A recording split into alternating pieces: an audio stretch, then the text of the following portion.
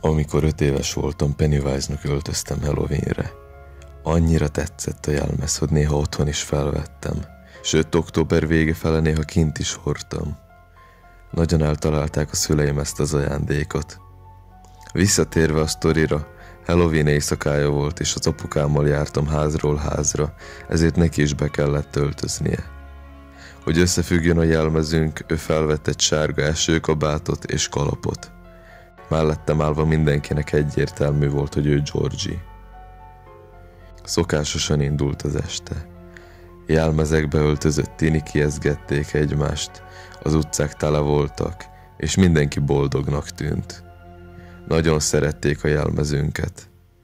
Apum kézen fogva elkísért a házakhoz, majd kint megvárt engem.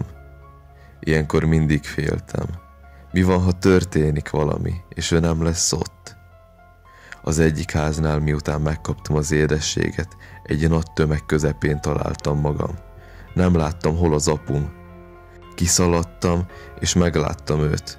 Megfogtam a kezét, és elindultunk. Arra mentünk, ahonnan érkeztünk. Nem értettem miért, de nem is foglalkoztam ezzel. Legalább biztonságban vagyok, gondoltam. Akkor kezdett minden gyanús lenni, amikor a szemétdom felé vettük az irányt, amit nem is láttunk onnan, mert annyira sötét volt ott. Ekkor meghallottam, hogy valaki a nevemet kiabálja körülbelül 200 méterről. Az apám hangja volt.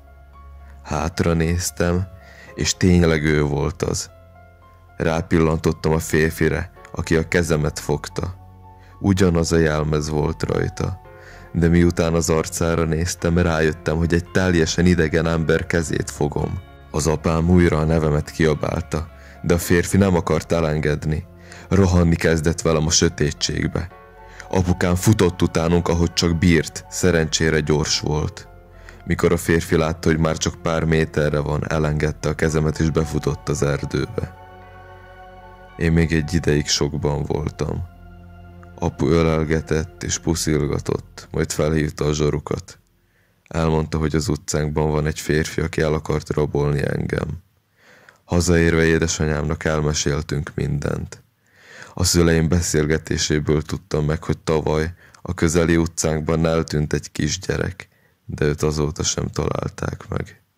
Valószínűleg apukám megmentette az életemet.